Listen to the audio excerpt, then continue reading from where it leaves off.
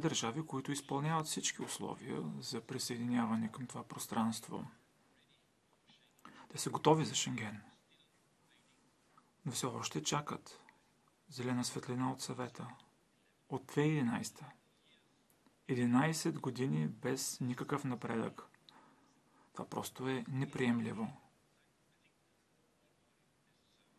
Ние, както останалите партии в парламента, категорично подкрепяме присъединяването на България и Румъния към шенгенското пространство. Ние винаги сме се борили за това от името на НДП. Място на България и Румъния е в Шенген. Особено сега, когато сме изправени пред много предизвикателства в хуманитарен план, свързани с сигурността на европейските граждани. Граници. За нас няма граждани първа и втора ръка. Няма обективни причини да се откаже присъединяването на България и Румъния. Те са предприели всички необходими мерки. Искам да уверя приятелите ни от София и Букуреш, че се ползват с пълната подкрепа на НП. Мястото ви е в Шенген. Сега призоваваме съвета най-накрая да одобри присъединяването на България и Румъния. Войната е тест за всички нас, дали можем да подсилим единството си. Разширяването на Шенген е лакмусов тест – трябва да се сложи край на това дълго чакане. Нямаме нужда от оправдания, от действия. С присъединяването на тези две държави към Шенген можем да опазваме по-добре външните граници. Това ще подсили цялото шенгенско пространство. Нека да продължим успехите на Шенген, които включват присъединяване на България и на Румъния. Нека това да стане сега. Thank you, Благодаря, госпожо председател, господин министър, господин комисар. Искам да кажа на господин Рао, че има само две страни, които са в края на западната част. Португалия и Испания са крайния запад и нищо повече. Друг запад в Европа няма. Румъния и България са готови за пълноправно членство – но съветът не взема решението, което ние, Европейския парламент, Европейската комисия, Румъния, България и всички европейски граждани, които обичат свободата, очакват с все по-голямо нетърпение. Румъния и България успешно издържаха всички стрес тестове. Миграционната криза от 2015, пандемията, голямо предизвикателство за Шенген, украинските бежанци, огромно предизвикателство.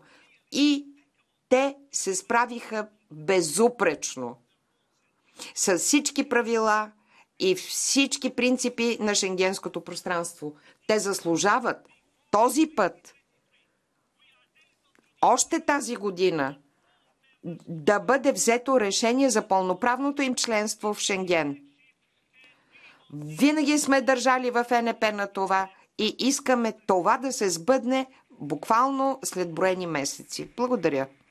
Искам да изразя моята огромна благодарност към огромната част от колегите, които винаги сте защитавали справедливостта и приемането на България и на Румъния в шенгенското пространство, което е записано още в предприсъединителните договори. То не е, както каза преждеговорищия през 2011 година, поискано от България и Румъния. То е записано в предприсъединителните договори, че това ще бъде факт и този факт не се случи от 2011 година, не по вина на България и Румъния и Комисията и Европейския парламент и на експертно-техническо ниво винаги е дава на оценката, че България и Румъния са абсолютно готови. Ние сме част от Шенгенската информационна система, захранваме с информация от нашите служби информационната система, допринасяме за сигурността на Европейския съюз, на всички европейски граждани, като защитаваме и външните граници на Европейския съюз, разбира се, солидарно с всички инструменти на Съюза, с Frontex и така нататък. Но гражданите са изморени от този дебат. Българските граждани са изморени всеки път да чуват едно и също нещо, че една или друга страна в съвета не взима решението поради техни вътрешни проблеми. Уважаеми господин министр Бек, благодаря на чешкото председателство, че се е заело с тази тема и наистина този път ви желая успех, успех на всички нас. Декември месец тази година това да се случи, тази справедливост да бъде извършена и да няма различни категории европейски граждани. Българите и румънците заслужават да бъдат в Европейският не само съюз като пълноправни граждани, но в шенгенското пространство, българската економика и всички справедливо мислещи хора смятат, че решението трябва да бъде взето. Благодаря ви. Госпожо председател, господин вице-президент и особено господин министър. Желязната завеса не беше просто израз. Тя беше разделителна линия между два свята. Един на бариери и бодливател и друг на свободен личен избор. Това беше толкова силна разделителна линия, че превърна Берлинската стена в символ на студената война. Толкова силна разделителна линия, че най-голямата победа в студената война беше събарянето на Берлинската стена. Но особено ценен урок ни преподадоха хората от двете страни на стената. Може да копаеш тунели, може да проектираш балони, можеш да плуваш в студените ледени води. Но желанието за достоен живот побеждава. Желанието да пътуваш спокойно побеждава. 33 години по-късно ние сме изправени пред същия урок. И изглежда не сме го научили. Шенген от символ на единството и падането на границите се превърна в нова желязна завеса и повод едни държави да сочат други с пръст. Защо толкова години, след като България и Румъния са изпълнили всички изисквания, те не се допускат Шенген? Защо повтаряме същата грешка? Уважаеми, България е част от Европа от 1300 години. И българите, и румънците са европейци точно толкова, колкото и всички останали и заслужават достойно и справедливо отношение, а не чакане пред бариери и пред гишета. 33 години по-късно Европа е поставена пред същия избор. Въпросът е този път от коя страна на стената ще застане. На европейското единство или на националните рейтинги. Не забравяйте обаче, че политиката вече съществува не за да строи стени, а за да ги събаря. Благодаря ви.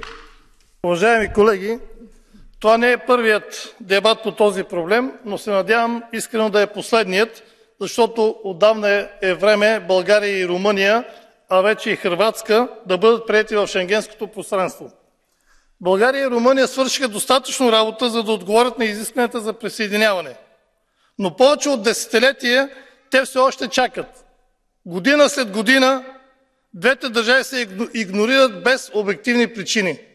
Причините са изцяло политически. 11 години, откакто някои правителства в Съюза наложиха вето на присъединяването на България и Румъния към Шенгенската зона. Време е тези правителства, начало с нидерландското, да се откажат от двойните стандарти и да демонстрират европейския дух на солидарност. Крайно време е да отпадне тази несправедливост. Не е справедливо да, да не се признават усилията и резултати на двете страни. Не е справедливо да не се признава факта, че при сполетялата ни беженска криза България се представи най-добре. Бъдещето на Европейския съюз зависи от това доколко страните ще бъдат единни и солидарни една с друга. Именно тази солидарност изисква България, Румъния и Хърватска да бъдат приети незабавно в Шенген. Време е мечтата да се превърне в реалност. Благодаря ви. Нашата позиция в този парламент е отдавна ясна по въпроса за присъединяването на България и Румъния в Шенген. Също отдавна е ясна позицията на Европейската комисия. Още по-ясен е интересът на българските и румънските граждани, на бизнеса в двете страни, но и на целия Европейски съюз принципите на свободното движение да въжат на цялата територия на Съюза. И тук възниква проблемът. Каква всъщност е пречката? Защо не се случва? Правителствата, които блокират приемането на България и Румъния в Шенген, дължат честен, ясен отговор и искам да подчертая, че те не го дават. А това вече не отговаря на стандартите ни като съюз, на принципите, по които работят институциите ни. Често, макар и неофициално, се споменава корупцията. И тук поставям въпроса по какъв начин изолирането на България и Румъния помага за борбата с корупцията. По какъв начин затварянето на нашия бизнес в тесни рамки помага на това да бъде освободен той от корупционната хватка. Напротив, принципът тук е точно обратния. Не може гражданите и бизнесът да бъдат наказани заради корупцията на своите управляващи. Гражданите и бизнес трябва да бъдат подпомогнати. България и Румъния трябва да влязат в Шенген незабавно и трябва да получат по-голяма помощ в реформирането на службите си и на правосъдната си система, а не да бъдат изолирани. Благодаря. Обръщам внимание, разширяването на Шенген с България и Румъния ще бъде успех за Европейския съюз, а ново отлагане ще работи единствено в полза на хибридната война, която Кремъл води срещу Европа. Настоявам от тази висока трибуна съвета да вземе единственото правилно решение – незабавно приемане на България и Румъния в Шенген. И нека това да стане на съвета през месец декември и да посрещнем всички заедно като едно семейство Рождество Христово. Благодаря ви за вниманието.